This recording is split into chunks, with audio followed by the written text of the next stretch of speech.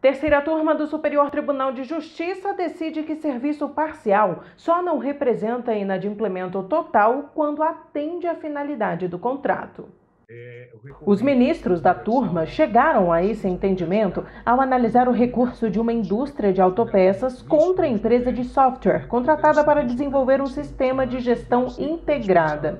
Para eles, a prestação deficitária ou incompleta só representa cumprimento parcial da obrigação quando atende à necessidade do contratante. Do contrário, estará configurado inadimplemento total. De acordo com o processo, a contratante afirmou que buscou os serviços da empresa especializada, pois precisava de um sistema que promovesse a integração de diversos setores da indústria. Porém, segundo ela, a contratada entregou um sistema que nunca chegou a funcionar e ainda prestou de forma incompleta muitos dos serviços correspondentes.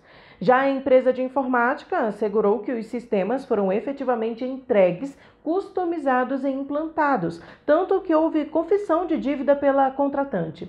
O Tribunal Estadual manteve a sentença de primeira instância de que a empresa de software não deixou de cumprir com as obrigações. A indústria entrou com recurso no STJ. O relator do caso, o ministro Moura Ribeiro, destacou que o fato de as instâncias ordinárias terem afirmado, com base nas provas, que o software foi desenvolvido e implementado parcialmente, não significa necessariamente que houve adimplemento parcial da obrigação. Para o relator, quem se compromete a desenvolver um sistema de computador para fomentar a atividade empresarial de determinada sociedade, assume uma obrigação de resultado pois está sim obrigado a entregar uma ferramenta que atenda às especificações técnicas previstas no contrato.